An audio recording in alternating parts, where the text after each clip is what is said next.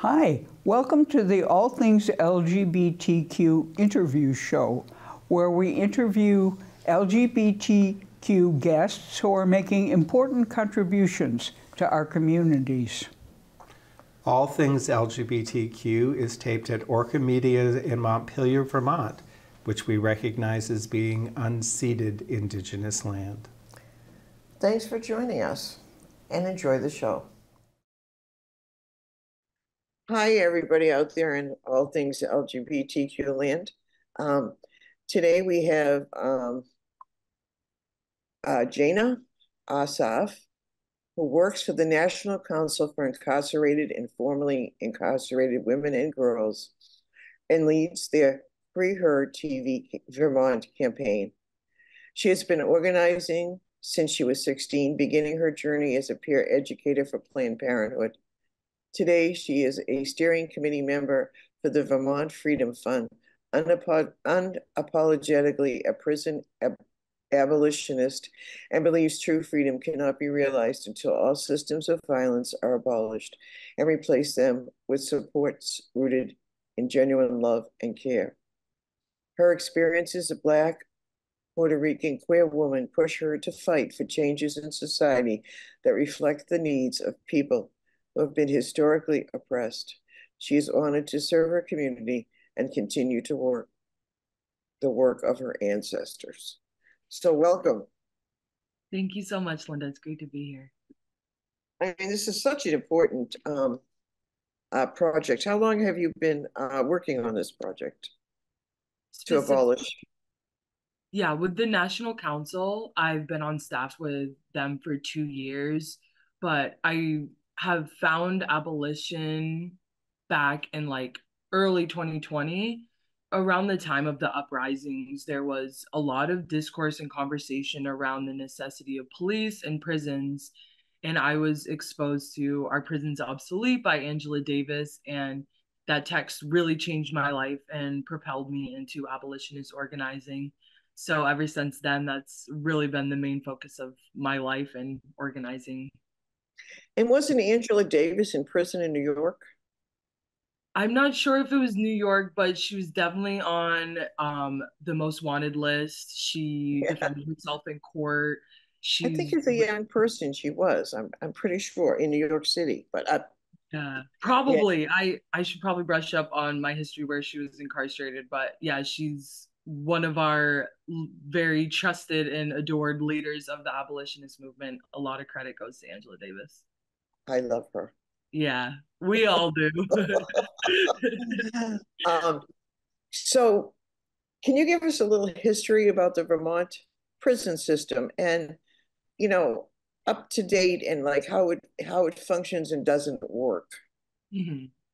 So, just to paint the picture in general, women's incarceration really came out of this idea of like the ideas of good women, bad women, you know, so very sexist roots in general.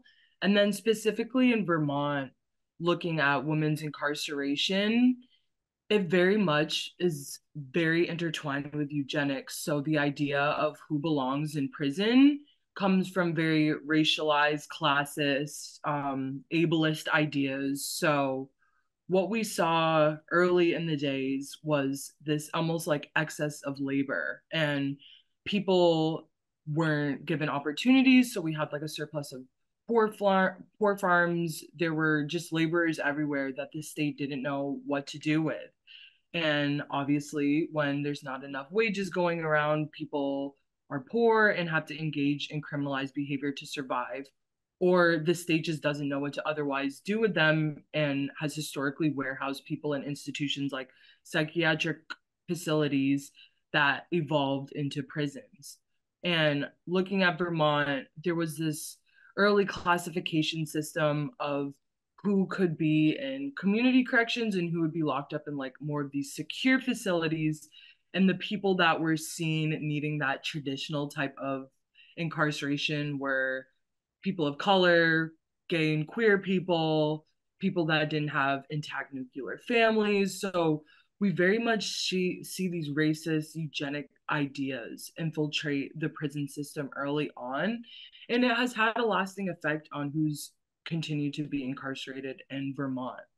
And something very interesting about Vermont's story is our current women's prison, Chittenden Regional Correctional Facility.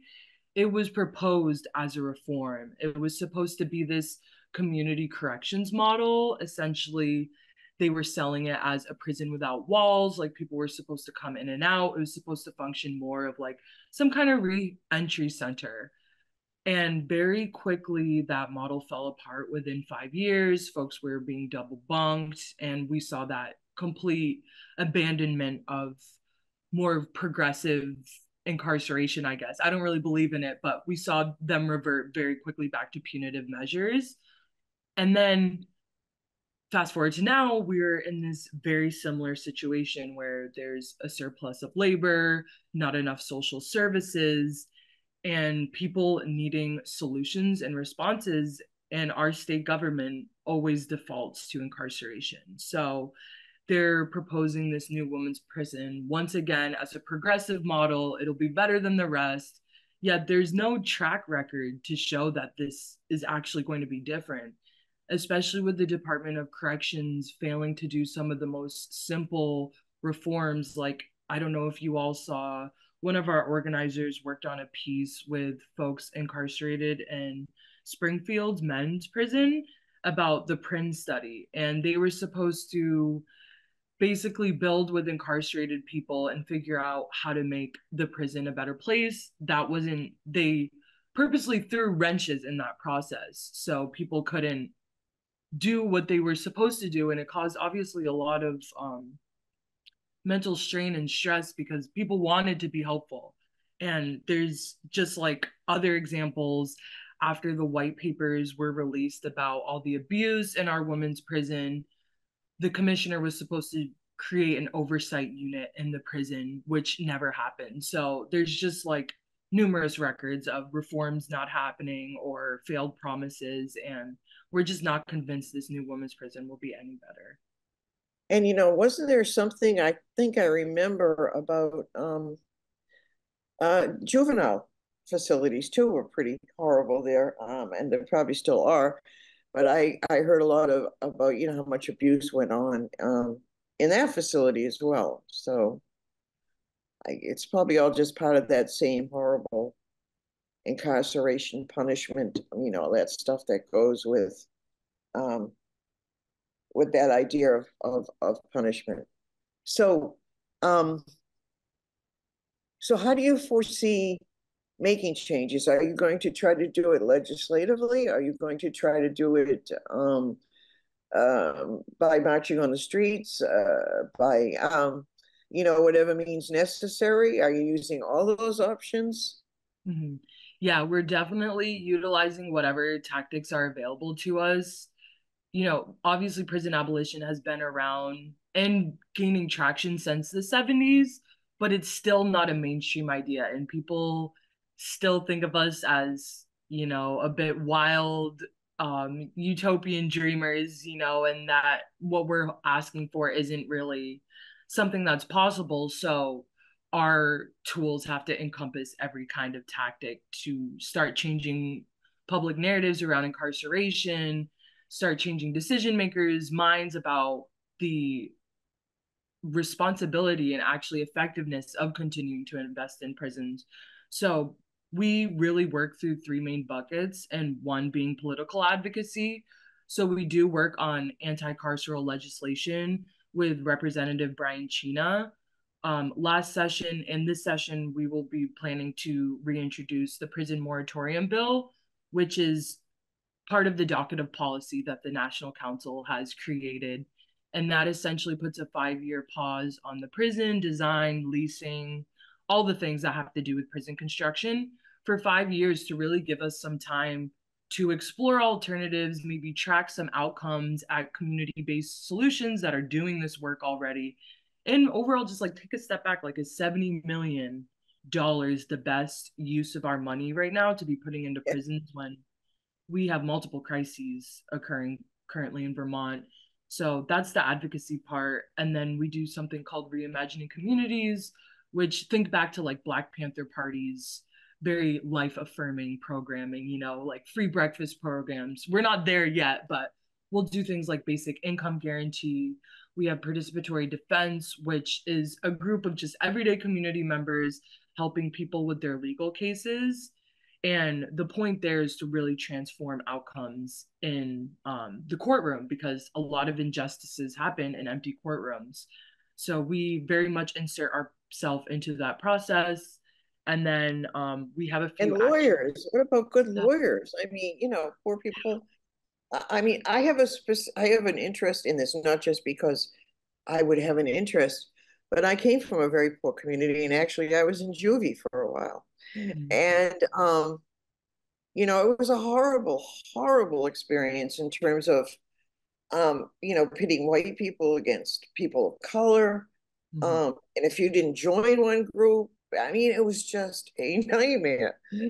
And, you know, I was so happy to get out of there because, you know, I didn't want to, I just wanted to, you know, but you run into like, as you know, if you're poor, you get a fine. You can't pay the fine. Then they take your license. Then you can't drive. Then you can't get to work. It's like an mm-hmm. endless cycle, as you know. So, yeah, I appreciate you bringing all that up. And I'm sorry about your experiences in juvie. That's awful. And that's like one of the main points that we try to say like, they're selling these ideas, forcing it down our throats of a trauma informed prison. And it's like, no matter what programming you put there, what color the walls are, how many natural lighting windows you have, it doesn't remove the inherent trauma of incarceration, like you're talking about.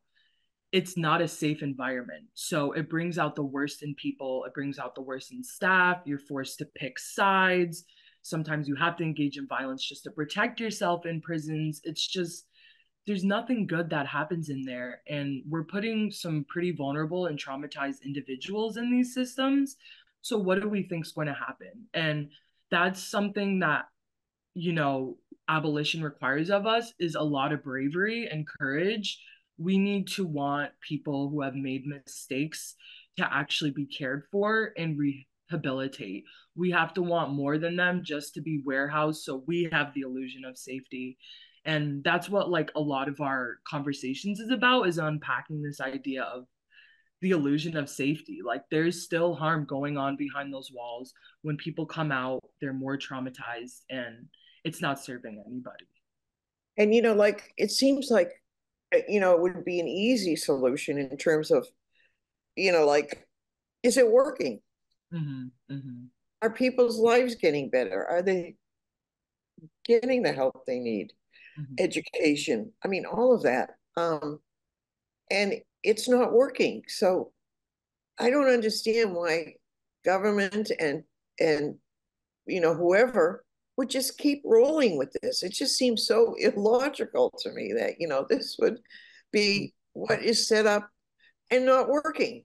You know, yeah. so do we as Americans just have like punishment, like stuff that we, you know, not dealing with? I mean, how are we going to reach people to say, you know, this isn't working and punishment isn't the answer? Mm-hmm. 100%. You hit the nail on the head there. We are fully socialized in a culture that utilizes punishment, that puts emphasis on individual success or failure. You know, we're the country of pull yourself up by the bootstraps. We think that if you work hard enough, you can get anything done. And poverty is almost seen as an individual issue instead of a societal one. Same with mental health illness, substance use. So that's why, as a culture, we really have to understand how interconnected we all are and that we actually have a responsibility to each other to make sure we're not just surviving, but thriving. So, yeah, we have to have some kind of epiphany moment about like wow we way overutilize punishment and another piece of that issue is that capitalism drives so many of our priorities in this country and prisons are a very lucrative business like vermont i believe gets over $200000 a year in kickbacks just from charging incarcerated people for phone calls you know like that shouldn't be something we do. And we have to have very intense deep conversations with each other like what kind of society do we want to be? Do we want to be the kind that profits off the caging and demise of our most vulnerable vermonters? Are there any like countries or states that you you think of as like somewhat of a role model for how you'd like to see this accomplished? I mean, I like Sweden or I don't know, you know, like someplace where there may- maybe is a different role model for this. Well, I don't think any state is in like perfect position yet, but there are a lot of states making some tremendous efforts, like Massachusetts. That's where the home base is for the National Council. And there's just amazing programming there because they've been building that campaign for almost a decade. And for example, they have this reentry center called New Beginnings. And basically, instead of like going to a halfway home or transitional house, women are there. They learn like how to be in community with each other. They're given responsibilities. There's help finding work, applying for appointments. You know, it's these ideas of wraparound supports. And I think that is key to moving us away from incarceration. Like, we believe that you know it's this one size fits all for society and i think there's so many of us that could benefit from having some kind of supportive housing like you know i honestly wouldn't be able to live on my own without my partner who helps keep the house clean with me you know keeps me on top of my bills like some people need that and it's not Yeah. just incarcerated people that need that support so what if we had buildings where on the first floor people could meet their case manager their drug treatment counselor you know like society is set up not in the best way to help people get access to rehabilitation. And then similarly, out in California, there's this firm called Design, Designing Space, Designing Justice, and they'll make things like peacemaking centers or mobile schools. So like kids can hop on these buses and do their homeworks if their home life is chaotic you know because if folks are coming from homes where their parents are using substances or have mental illness like can be a very chaotic space. So there's pioneers across the country really trying out alternative systems that are showing promising outcomes and like looking at Vermont. Sorry, I think I'm talking a lot on this piece, No, but no, no. This is very interesting. okay, cool. All right. So, Pathways Vermont, I believe they use a housing first model and the daily cost of that is like $63 versus almost $150 a day. Wow. So like Oh. even looking at that, like alternatives to incarceration aren't just like responsible in the sense of making sure people are set up for success, but they're fiscally responsible too. We'd be saving money, energy, resources by investing in these. So And there's did and didn't like the Vermont men's prison, I think, make millions of dollars off of making Vermont strong license plates. yeah, and they paid them cents to make those. So you know they could that's another thing. You could set up a cooperative business in these prisons Yeah. giving people money they making their own profits. They could pay back to the state to cover the costs of these programs. You know like prisons have stunted our creativity. We think they're the only solution when the world is our oyster. We have so many options available to us. Yeah. And you know, like I said, it, it's just amazing that, you know, that people would want to replicate the same old system that hasn't worked from the very beginning. You know, it's like making changes in police, you know, not not necessarily defunding them, but you know, like to make changes so that things really work as opposed to never working, you Mhm. know, or not working because they don't understand mental health issues. They don't, you know, I mean, so and that's the danger system. yeah. yeah that's the danger like obviously I, I'm not meaning this as a jab at reformists, but that's why I feel reformists should be careful how what they push for the narratives they're saying because this reform ideology has convinced people that we can fix our way out of these problems instead of just scrapping the system, starting from scratch. Like for prison abolitionists, we believe the prison system is the modern iteration of slavery. It just recreated itself to be at this point. And there's no reforming slavery. It's a corrupt system that should just not exist. And, you know, that's what kind of our main ethos are. Like prisons are doing exactly what they're doing, which is to control, oppress, and traumatize Black and Brown and poor people further. So, yeah, it, it's tough to try to convince people of that, though. You know, and and just everything like the justice system. Who gets justice and who doesn't? Mm-hmm. Mm-hmm.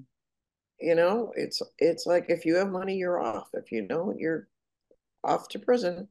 One hundred percent. know, yeah, yeah. So, um, how can people get in touch with you if they want to join, help, um, donate money, uh, you know, whatever it is you need? Um, is there a place they can uh, contact you? And we'll make sure to put it on the screen. Oh yeah, that would be awesome. Okay, maybe I'll chat it. I don't know if that will pop up for people to see, but you can email us at Vermont at the thecouncil.us and either I or one of our other organizers will get back to you. We also have an Instagram account, which is at freehervt. Once again, that's Instagram. And then you can look at our website, nationalcouncil.us backslash Vermont. Good. Yeah. All right. So we'll make sure they're on the screen and that people can contact you. Are there any last words you'd like to leave our audience with besides sending bodies and money? Uh, I would say like definitely appreciate your money and but would really appreciate your energy and time more. It's going to take like it's going to take a mass mobilization of people for this to happen. And a lot of people I feel like they stay away from abolition because they feel like they don't know enough or yeah, they're just like this is something I know nothing about. That's what we're here for. We're a resource for educating. We'll skill you up to whatever you feel you need to be. And that's another thing about abolition is it there's space for everybody. So if you just want to go talk to your legislators, you can. If you want to help us make social media graphics, you can, or art. Like there's a place for everybody, regardless of skill set, age, anything. We we have something for you. So definitely just want to place that call to action to join us. okay. Yeah. And just um, for last word, what got you into doing this? I mean, is it was it a personal thing or uh, something that you just resonated with? Yeah, so a bit of both. Um, so as a Black and Puerto Rican woman, so many people that I've grown up with, family members, they have interfaced with the carceral system. And um, on a more personal level, I come from generations of substance users that have very have been very deep in their addictions, and I've seen firsthand what happens when people don't have the resources they need to thrive. And I just think we have a responsibility to each other to help bring out the best in each other. Um, and then just on a spiritual level, I I don't think, you know, regardless of who you believe in up there or don't believe in, I don't think it was ever the goal to have humans in cages. I think it's actually holding us back from evolving as a species. And like not to get too deep about it, but I think the human potential is waiting for us on the other side of all these awful systems of capitalism, racism, homophobia, transphobia. Our true potential is waiting for us to understand that hatred is not the essence of humanity. So that's a little. Well, let's hope for the election then, I guess, huh? Oh, oh, I, I don't place my hope in politicians anymore. I know. Uh, I hear you, but um, I know they they like to keep up a lot with the status quo also and not Mhm. rock boats very much. But um, thank you so much for being on, and I think our audience will find it um, really interesting to hear about what you're doing, what your agency is doing, and I hope you get some response and people write in and you know are ready to go. And good luck with all your future endeavors. Thank you so much for being on. Thank you, Linda. I really appreciate you sharing your platform with us. This has been great. Hi, everybody. I'm here with Lamya H., who has written a wonderful memoir that came out in 2023. Um, it's been widely hailed. Um, and Welcome, Lanya. Lamya. Thank you so much for having me. Um, I'd like to, if I may, read a little of your biography from your website. Um, and I will read it in the second person, if that's okay. Lamya H., she, they, is a queer Muslim writer and organizer living in New York City. Her memoir, Hijab Butch Blues, uh, came out from Dial Press in February 2023. Lamya's work has appeared in Los in the Los Angeles Review of Books, Salon Vice, Autostraddle, Vox, and other places. You have received fellowships from Lambda Literary, Aspen Words, and Queer Arts. Very impressive. Lamya's organizing work centers on creating spaces for LGBTQ plus Muslims, fighting Islamophobia, and abolishing prisons. In her free time, in your free time, you eat a lot of desserts baked by your partner. You play board games with whoever can you you with whomever you can corral, and you work on your goal of traveling to every subway stop in the city. You've never run a marathon. um, let me read, if I may, let's talk a little about the memoir that's going to be the focus of our conversation today. According to Zaina Arafat, who is the author of You Exist Too Much, a very interesting uh, novel, the memoir, Hijab Butch Blues, this is, took hold immediately after its early 2023 release has since won a series of prestigious literary prizes, including the Stonewall Book Award, the Brooklyn Public Library Book Prize, and the Israel Fishman Nonfiction Award. Earlier this year, it was named a Lambda Literary Award finalist. I saw that list and applauded it, although I hadn't read the book yet. Um, it has also been praised by queer literary world luminaries, from, from Untamed author Glennon Doyle to Roxane Gay, who selected Lamya's Your debut for her audacious book club upon release. Um, and this description of the book is from Zaina Arafat. And I read the, I, let me just tell viewers um, that the, an interview with Roxane Gay appears at the end of the paperback edition that I have also reader's guides with questions. So welcome again, Lamya. Thank you so much for having me. Um, I get weird and embarrassed every time I hear my uh, bio read aloud. Uh, so this is me um, not being weird or embarrassing. well, weird has gained some currency in our um, national discourse lately. Uh-huh, that's true. And um, when you in a part of the book where you talk about um, the um, prophet who talks about staying with your even if your mm. spouse is a wife beater um, the prophet according to some interpretations uh, advises staying with this person i thought of jd vance mm. who also advises that uh, women in domestic abuse mm. relationships stay stick it out and stay in. So there are national resonances everywhere. Yeah. But let's get to the book. Um, I'd like the audience to have a taste of it right from the get-go because um, it'll give us a feeling for those of you who haven't read it, and I encourage you all to, for um, the tone and the substance. So would you mind reading a little? And if you could give us the context. Absolutely. So I'm going to be reading from the first chapter of my book. Um, and in this chapter, I'm writing about being 14 and being in Quran class and really uh, just sort of navigating my relationship with faith. Um, in in class, we've been reading the story of uh, Maryam, um, who is also known as the Virgin Mary. And in the last class, we've just read about how she, uh, you know, was raging to God about wanting to die. And I've just been really moved by it.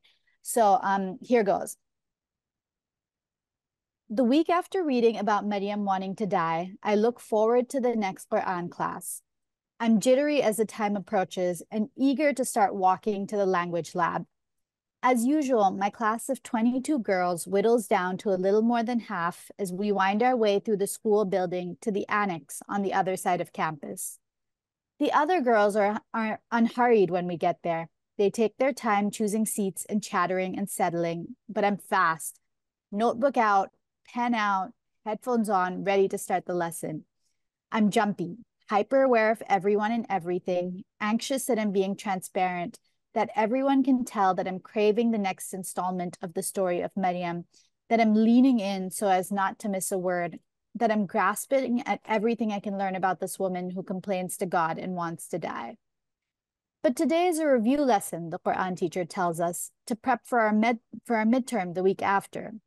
I'm devastated. I'll have to wait an entire week to know what happens next while we recap the 30 or so verses we've already read and then review the recitation, the hard words, and the English translation for our upcoming test.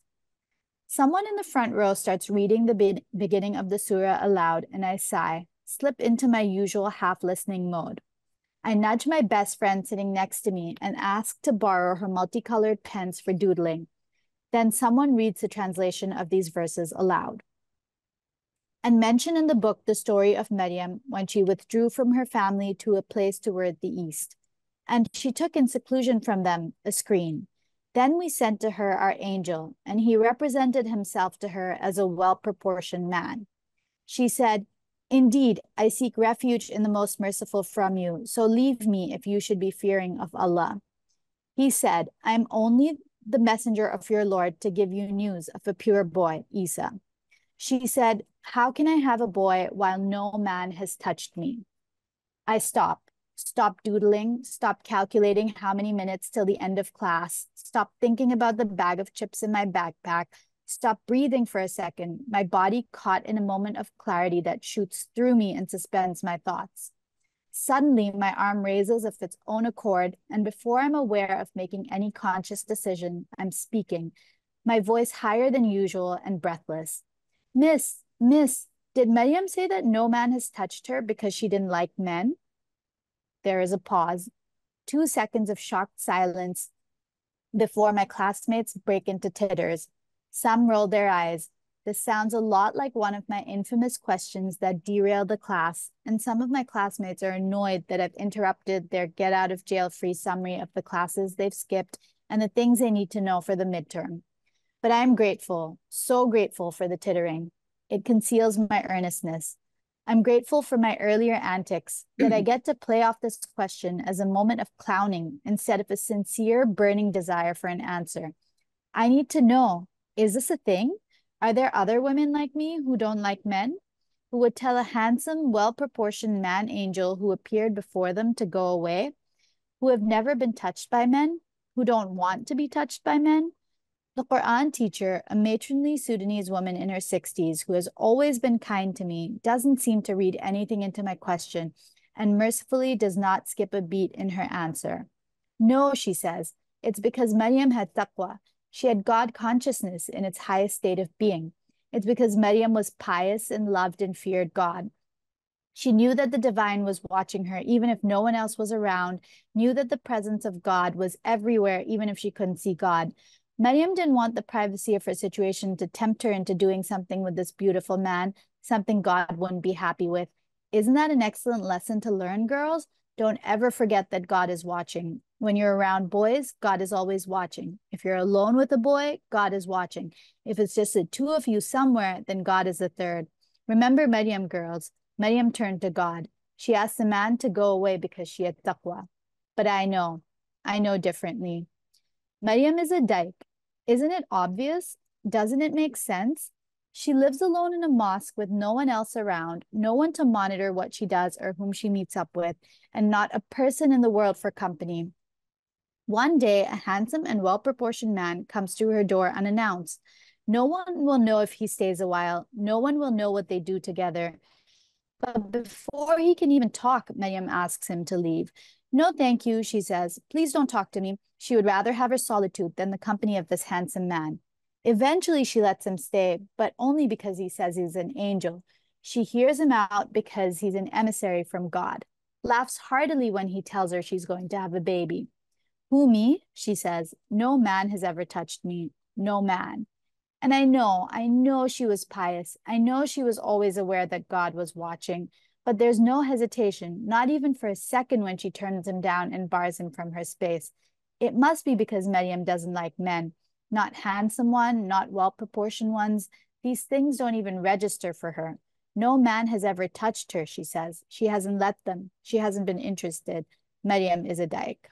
Ah, I love that. And this was, wasn't this the original title that you had yes. for the?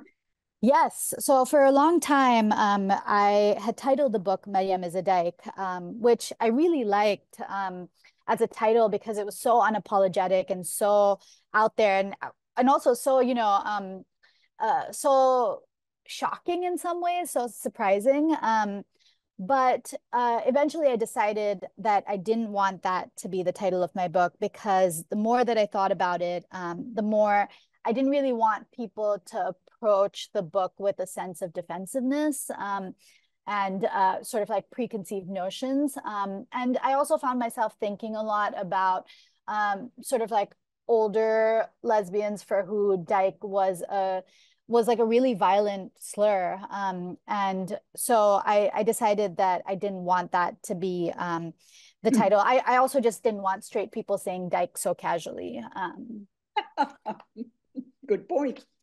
Um, well, let's talk about the current title. I know members of our audience will probably recognize the allusion in the title, Hijab Butch Blues, but would you mind talking about it?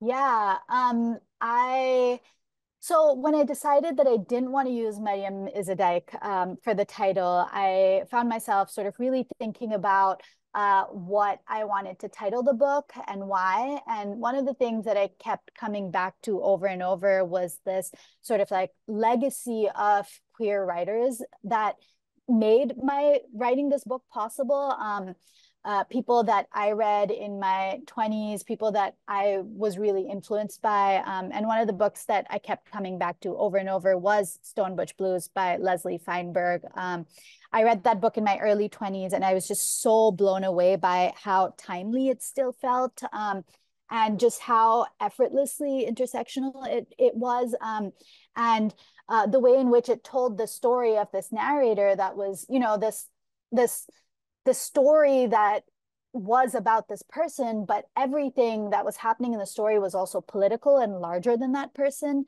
Um, and I remember reading it and being so blown away by that concept that you could sort of like share these stories that felt really intimate and vulnerable, but that were also about the world um, and were essentially a form of like recording and fighting and um, a way of uh, just in and of themselves the, the stories were activism. Um, so yeah, it's it's a book that I've you know read a lot, um, and I keep coming back to over and over. And it's this writing style that I wanted to emulate. Um, and so to me, um, riffing off that title was a huge homage to um, to Stone Butch Blues, to Leslie Feinberg, and to our queer writing ancestors. Well, I noticed a similarity. I read Stone Butch Blues in the 90s. In fact, I taught it. Mm. Um, I know. It was great, and it is revolutionary. And it ends with sort of a uh, an invocation of an ideal community that mm. we're all mm. struggling. And it seems like Hijab Butch Blues does the same thing. We're all struggling. We, you know, we may not, you know, have every achieve every single goal, but we need to keep fighting. And I thought that was really powerful ending, both in uh, Feinberg's work and in yours. Mm. Um, so, could we talk a little bit about community? Um, you belong to various writing communities, and um, you mentioned that you have a writing group. Um, can you tell us a little about that? Do you still meet regularly, and how often do you meet, and how did you happen to find each other? Yeah. Um, in terms of your earlier comment about community, um, I, I, I feel like this sounds like an overstatement when I say this, but it, it's really not. I think finding queer Muslim community specifically just really um, changed my life and saved me um, in so many ways.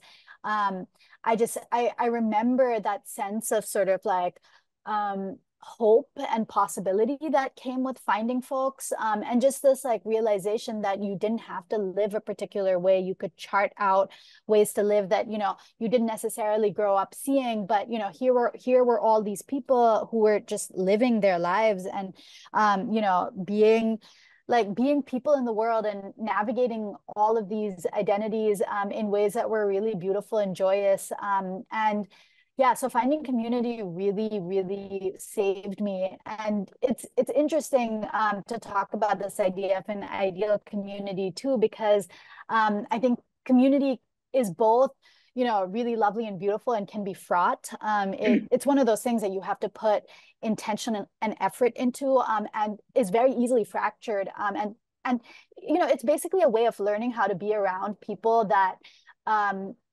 you don't necessarily like um, alongside the ones that you really like um, and just knowing and like learning teaching yourself how to um, how to how to engage in conflict that where you know people are not disposable where um, you can disagree with people or have sort of like blowups but still be around them and still work through them um, and i feel like these are all things that i had to learn and um, finding community really enabled um, enabled me to grow in this way that I don't think I would have been able to otherwise. Um, and yeah, it, it really, really sort of like, yeah, changed um, everything for me. And not just in terms of like queer Muslim community, but other communities too. Um, I think one of the, um, one of the other sort of like instrumental um, communities in my life has been sort of like a queer writing community. Um, I came into that when I went to the Lambda Literary Treat, Retreat in I believe it was 2015. Um, and if anyone is interested, look this up and apply to this because this retreat is so phenomenal. Um, I uh, I was in this sort of like nonfiction cohort, and something about sort of like sharing your writing and sharing nonfiction in particular, because it's usually so personal and comes from this place where that's deeply vulnerable, um, really creates um, a sense of like closeness and community. Um, and I was so lucky because my writing group emerged from that. Um, I went to this uh, this retreat and made friends, and then um, one of my friends from um, from my cohort was like, "Hey, we should start a writing group." Um, and so a few of us who had also been to the retreat just got together and wrote and brought things, and it was it was um, we met on a fairly regular basis. We met every month and people brought pages that they had written that they wanted to share. Sometimes they did sometimes they didn't. Um, and i think just sort of like being around other people who were taking their writing so seriously was just so mind-blowing to me. It was so phenomenal. Um, i you know hadn't really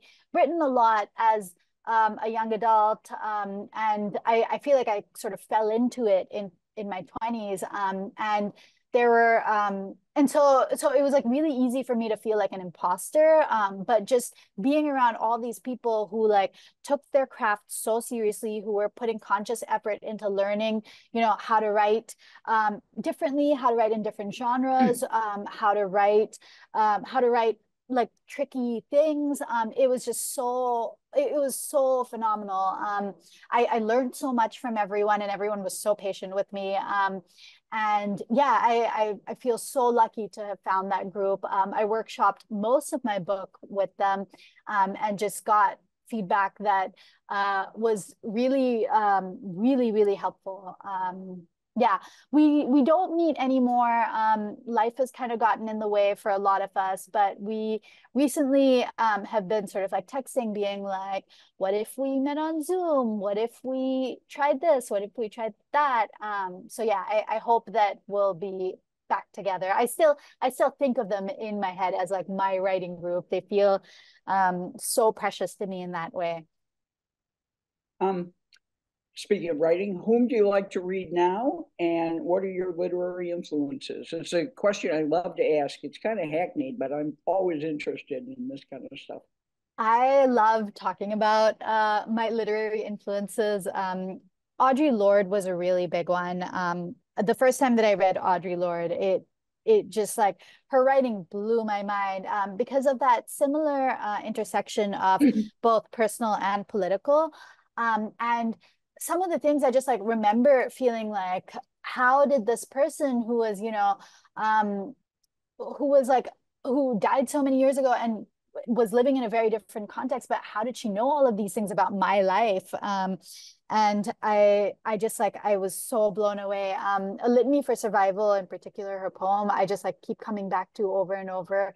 Um but yeah audre lorde's work um was a huge influence. Um i also really like dorothy allison's work. Um it just the mixture of sort of like lyrical writing that is very situated in a place and a geography um, alongside um, you know well, it's interesting because back then um, memoirs weren't really a thing. Memoirs by people who weren't super famous weren't really a thing. And so a lot of her writing is um, I, th- I think the word is um, uh, bio bioethnographies bi- or autofiction yeah yeah biomythography is yes Yes, yeah. And then there's also autofiction, which people, which I think was yeah. a word that was floating around then. Um, but yeah, just that blend and just um, the beauty of her writing is just really, really phenomenal. Um, I also really like Dionne Brand, um, who is this Canadian writer who, again, writes these books that are incredibly lyrical. She's a poet um, and a writer. And,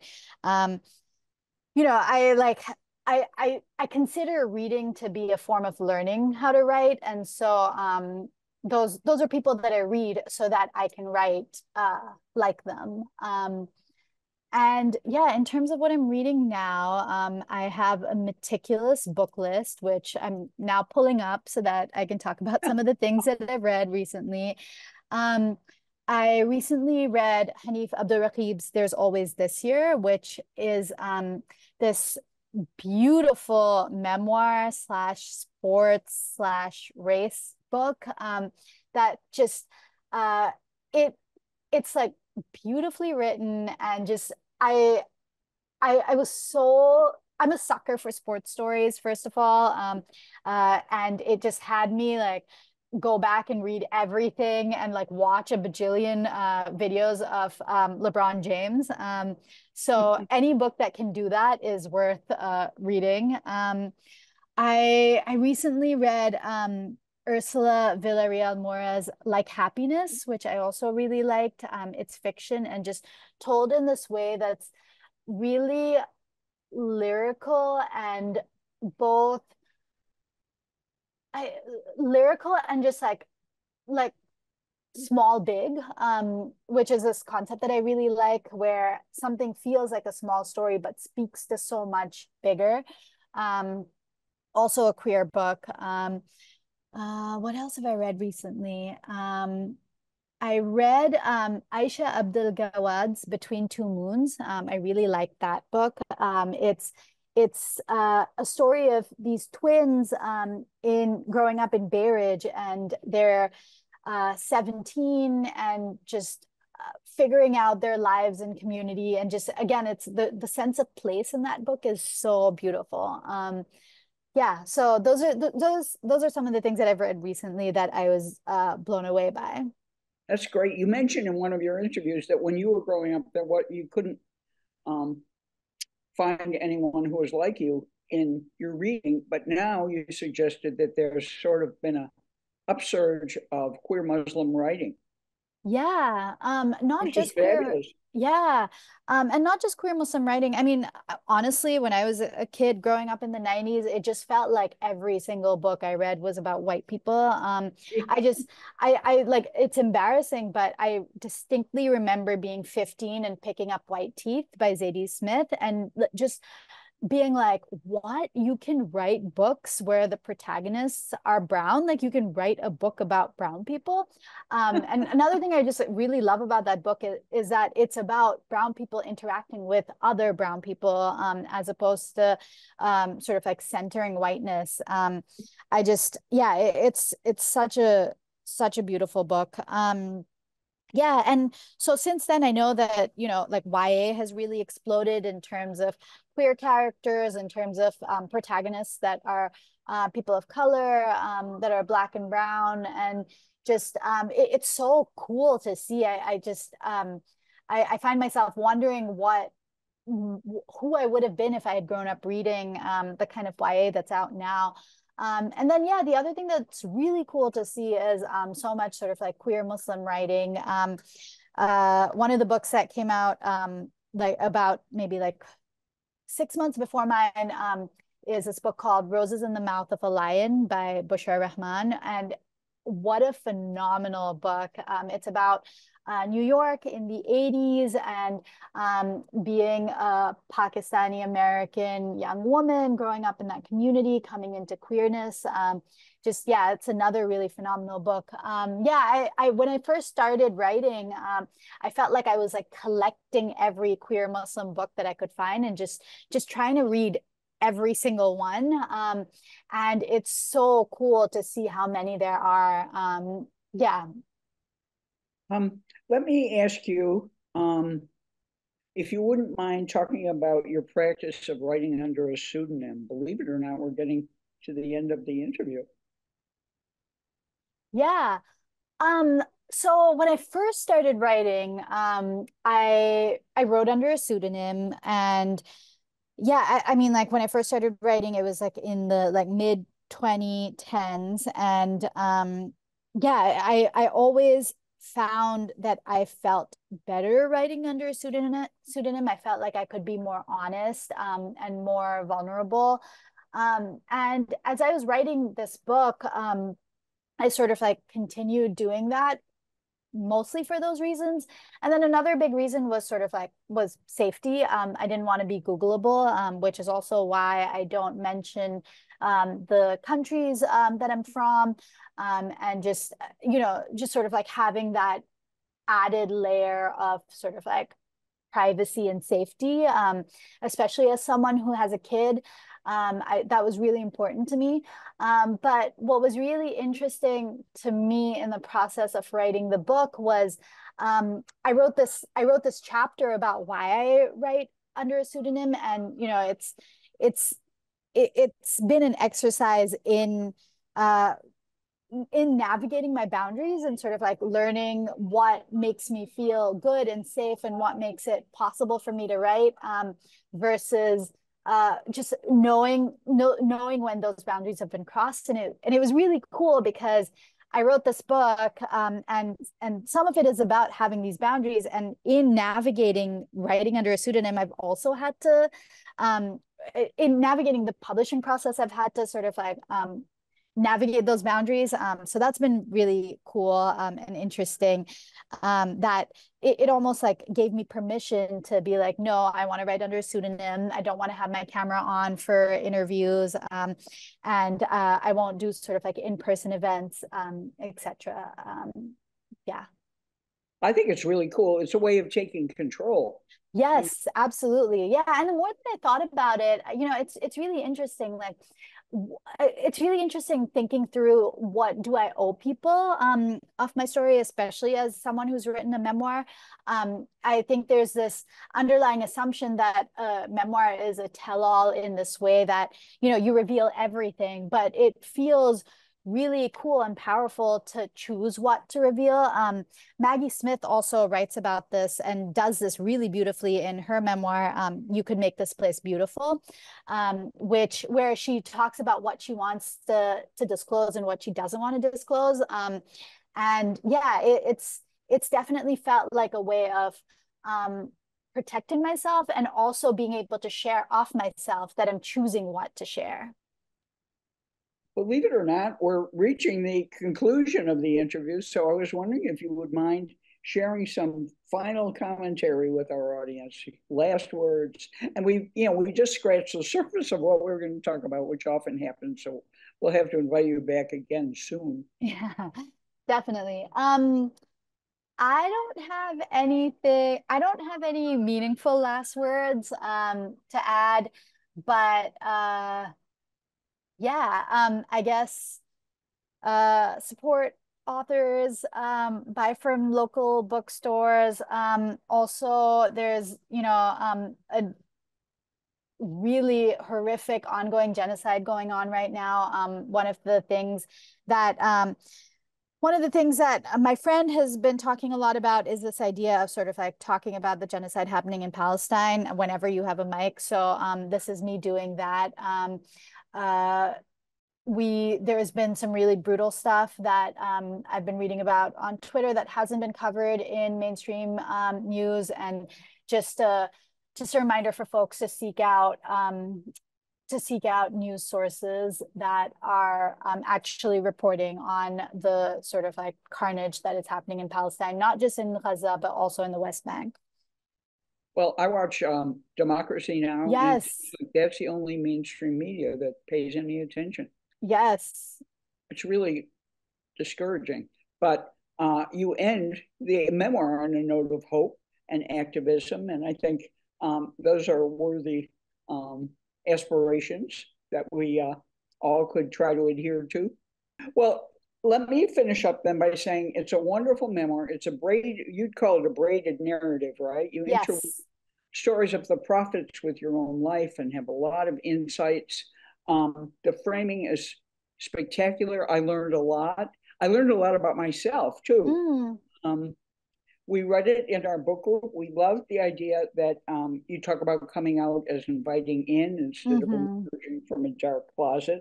Uh, I personally love the pogo stick episode. Mm-hmm. You're going to have to read the memoir to learn about that. And there's also a bad date sequence. It's really a hoot and you know, um, make you smile. So it's a wonderful um, memoir, Lamya, and I really appreciate your coming in to talk about it with us. Thank you. Thank you so much for having me.